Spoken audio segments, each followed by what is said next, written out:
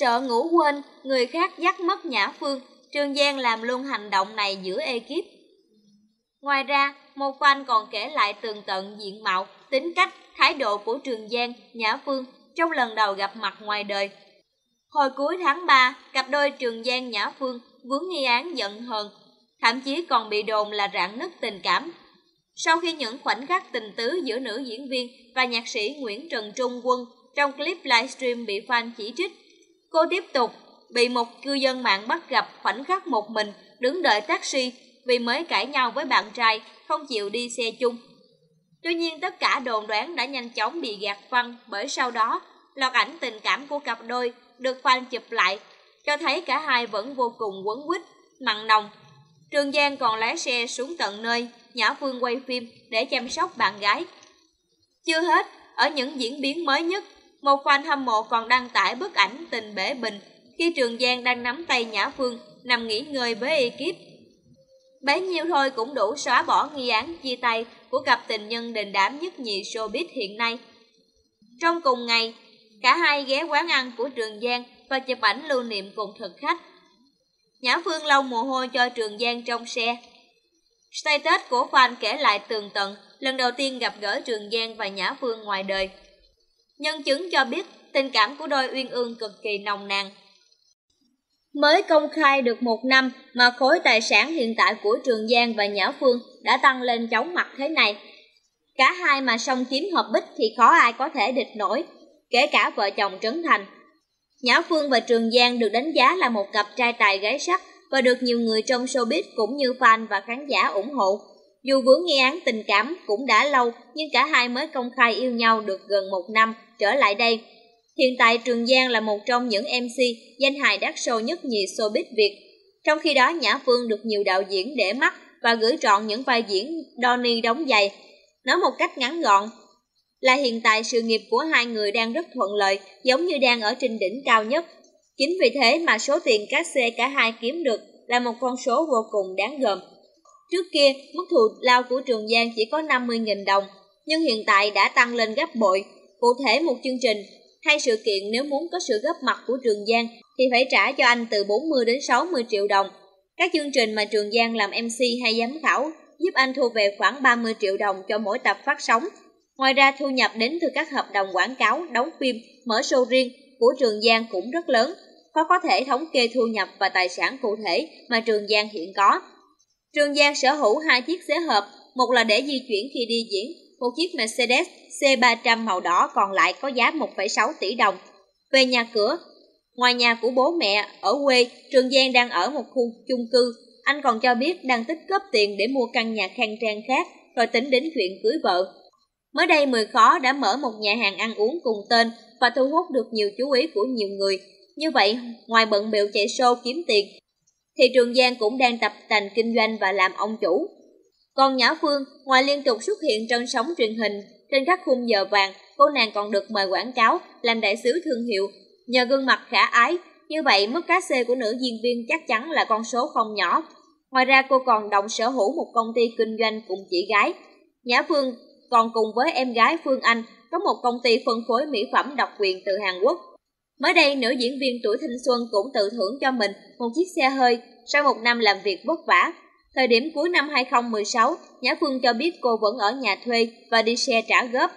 Chiếc xe mới trong bức ảnh, theo tìm hiểu, là sản phẩm của hãng Mercedes-Benz dòng C250 Exclusive phiên bản 2017 có giá sắp xỉ 1,7 tỷ đồng.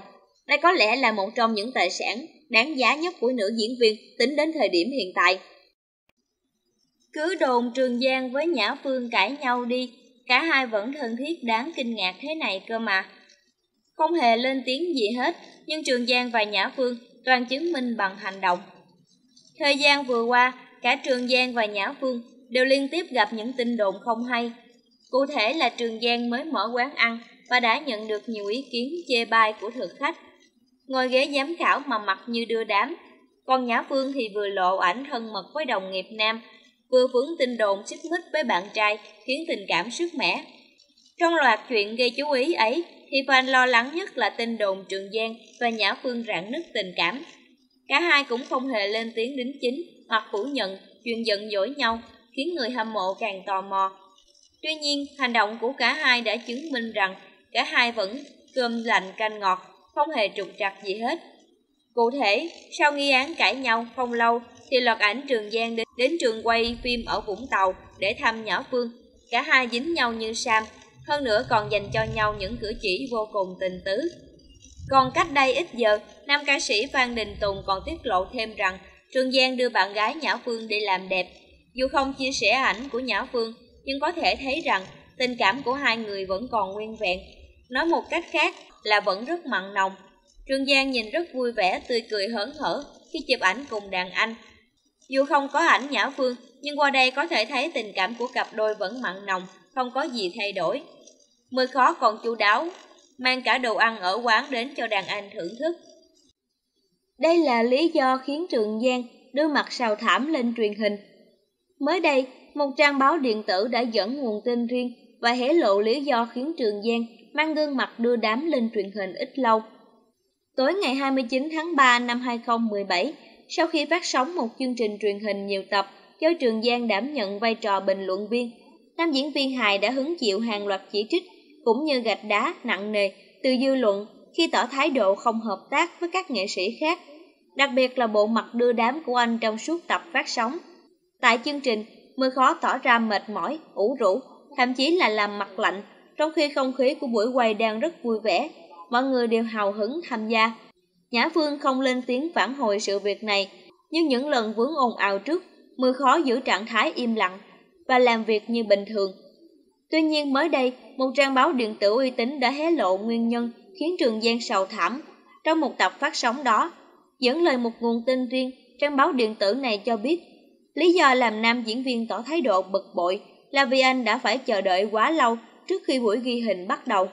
Sự việc dẫn đến thái độ hời hợt của Trường Giang khi tham gia chương trình vì ở buổi quay hình có xảy ra một số sự cố nên thời gian bắt đầu ghi hình đã bị kéo dài. Nhà sản xuất để Trường Giang chờ khoảng 3 tiếng. Ngay sau đó Trường Giang đã đòi bỏ về nhưng ekip đã thuyết phục anh ở lại. Lý do được đăng tải trên một trang báo gần đây. Nhiều khán giả đã cảm thấy sốc và bày tỏ sự thất vọng khi biết nguyên nhân sự việc trên. Bởi trong việc này, khán giả không hề có lỗi gì, nhưng phải chứng kiến thái độ khó coi của anh. Với không ít người hâm mộ, đây là thái độ thiếu chuyên nghiệp một cách khó chấp nhận. Không tôn trọng khán giả, một khi nhà sản xuất không tuân thủ thời gian làm việc, Trương Giang tức giận là điều có thể dễ hiểu. Nhưng thái độ đó, gương mặt đó chỉ nên dành riêng cho nhà sản xuất, không phải là cả với khán giả.